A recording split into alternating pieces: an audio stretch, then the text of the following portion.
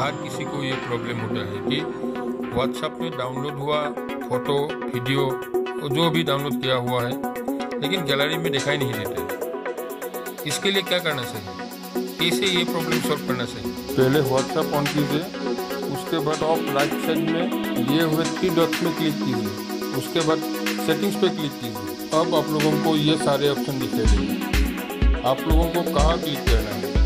ये देखिए दूसरे ऑप्शन पर आप लोगों को क्लिक करना होगा। फिर उसके बाद आगे है ये सारे लेकिन इसमें आप लोगों को सिर्फ़ मीडिया विजिबिलिटी पे ही क्लिक करना चाहिए। मीडिया विजिबिलिटी ऑन होने के बाद आप लोगों का प्रॉब्लम सॉल्व हो गया लेकिन व्हाट्सअप मीडिया फ़ाइल ढूंढेगा कैसे? आइए देखते हैं। मीडिया विजिबिलिटी ऑन करने के बाद वो अपने आप एक फोल्डर क्रिएट कर लेता है।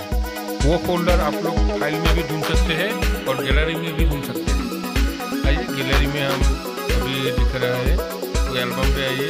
ये देखिए व्हाट्सएप इमेज बोर्ड के एक फोल्डर हो। गया ठीक इसी तरह व्हाट्सएप वीडियो लिखा हुआ एक फोल्डर मिलेगा अगर मेरा वीडियो अच्छा लगा हो तो प्लीज़ लाइक शेयर और सब्सक्राइब करना मत थैंक यू